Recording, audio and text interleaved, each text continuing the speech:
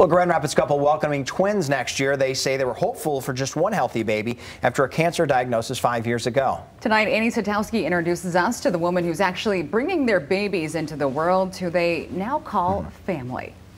This has probably been the, the one positive of 2020. Tammy and Jordan Myers are anxiously awaiting a girl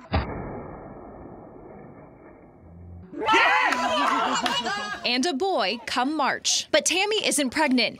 This woman, Lauren Vermilia, is. I always had very easy uh, pregnancies and deliveries, and I kind of felt like that was a gift that I was given. And one she's always considered in the back of her mind. That's why she's carrying the Myers twins for them. She's the biggest part in bringing these babies into the world. But to understand the gravity of this plot twist, we have to go back a few years. I was diagnosed with breast cancer in 2015. Um, and it kind of caught us by surprise. They soon learned that saving Tammy's life would cost her ability to create others. They said that the only way that we could um, have children of our own is to do an emergency egg harvest and harvest my eggs and then freeze them in hopes that things turned out well and we were able to try again later. Fast forward to fall 2019. The time to try presenting itself with a grant from the SAM Fund, a nonprofit that supports young cancer survivors.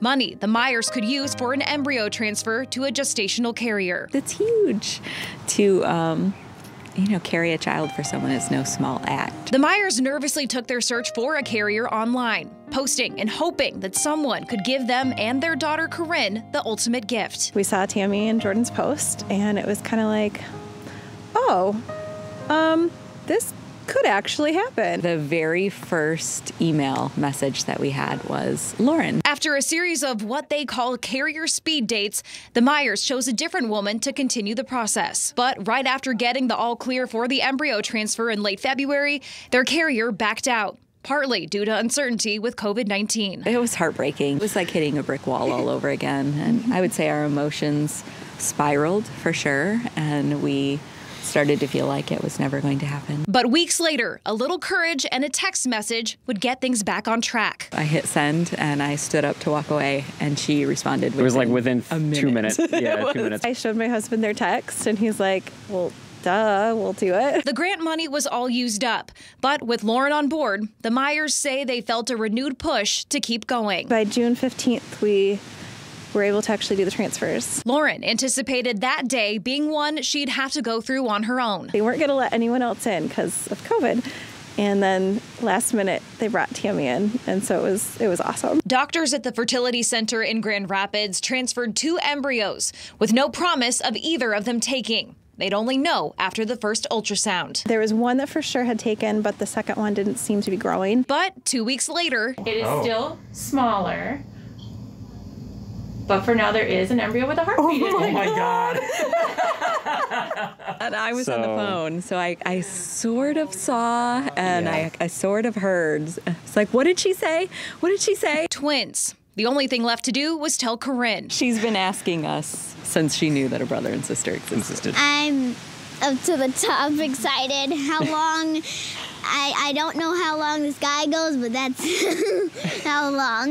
Even if it means losing the luxuries that come with being an only child. They're still in my bedroom. With two kids of her own, Lauren is no stranger to delivery day, but she knows this one will be a lot different. I'm sure at the time it's it's not going to be super easy or, you know, like the happiest thing, but at the same time I'm I'm very confident that I'm done with having my own children.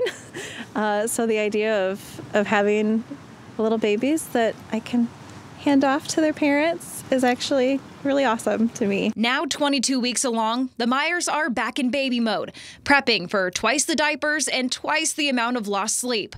But for them, the joy is immeasurable. Our life has been all about cancer, and now it feels like that door is opened, but this kind of feels like a transition where I can close that door or close that window and move on to the next phase of life or really get back to the life that we had before cancer. And come March, almost exactly a year after they thought a bigger family just wasn't in the cards, the Myers can celebrate a new date, two birthdays. All because of one woman. We don't know how to thank her for this gift. You know, there's no amount of gratitude that could explain what we feel for Lauren. She's stuck with us. That was our Annie Satowski reporting. The Myers are still working through the legal challenges now that come with these kinds of procedures, which can be tricky in the state of Michigan. But hey, twice the fun, twice Yeah. the blessing with those twins. Nice to see good news Yeah. coming out of 2020 indeed.